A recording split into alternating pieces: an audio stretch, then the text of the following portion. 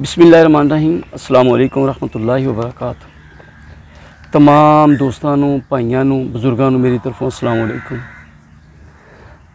ਅੱਜ ਤੋਂ ਕਟਾਈ ਦਾ, ਕਬਰਸਤਾਨ ਵਿੱਚ ਜਿਹੜੇ ਦਰਖਤ ਸਨ, ਉਹਨਾਂ ਦੀ ਕਟਾਈ ਦਾ ਕੰਮ ਸ਼ੁਰੂ ਹੋਣ ਲੱਗਾ ਜੀ।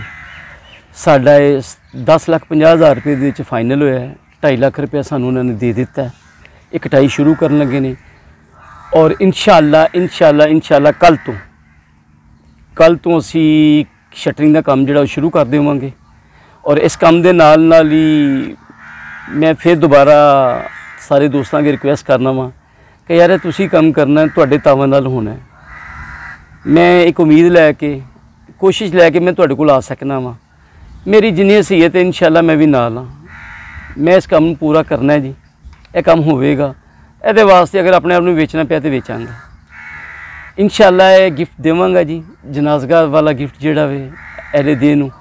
ਔਰ ਇਨਸ਼ਾਅੱਲਾ ਇਹ ਆਪਣੇ ਫਾਈਨਲ ਜਿਹੜੇ ਫਾਈਨਲ ਮਜ਼ਾਹ ਆਪਣਾ ਉਹ ਨੇ ਨਾ ਜਿਹੜੇ ਦੇ ਫਾਈਨਲ ਮਰਾਹਿਲ ਦੇ ਵਿੱਚ ਪਹੁੰਚ ਗਿਆ ਹੋਇਆ ਵੇ। ਤੁਹਾਡੇ ਅੱਗੇ ਫੇਰ ਰਿਕੁਐਸਟ ਹੈ ਕਿ ਤੁਸੀਂ ਜ਼ਰਾ ਦਿਲ ਖੋਲ ਕੇ ਥੋੜਾ ਜਿਹਾ ਥੋੜਾ ਜਿਹਾ ਤਾਵਨ ਕਰੋ। ਤੁਹਾਡੇ ਤਾਵਨ ਨਾਲ ਹੀ ਸਭ ਕੁਝ ਹੋਣਾ ਹੈ। ਔਰ ਮੈਂ ਉਮੀਦ ਵੀ ਕਰਨਾ ਕਿ ਇਨਸ਼ਾਅੱਲਾ ਤੁਸੀਂ ਤਾਵਨ ਕਰੋਗੇ। ਥੋੜੀ ਦੇਰ ਪਹਿਲੇ ਮੈਂ ਗਿਆ ਵਾਂ ਸਾਦੋ ਕੀ।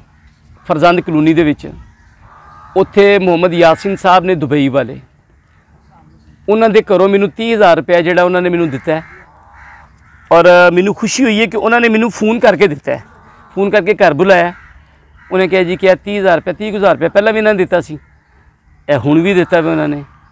ਤੇ ਮੈਂ ਢੇਰਾਂ ਦੁਆਵਾਂ ਵੀ ਦਿੱਤੀਆਂ ਨੇ। ਅੱਲਾਹ ਤਾਲਾ ਇਸ ਘਰ ਨੂੰ ਸ਼ਾਦੋ ਆਬਾਦ ਰੱਖੇ।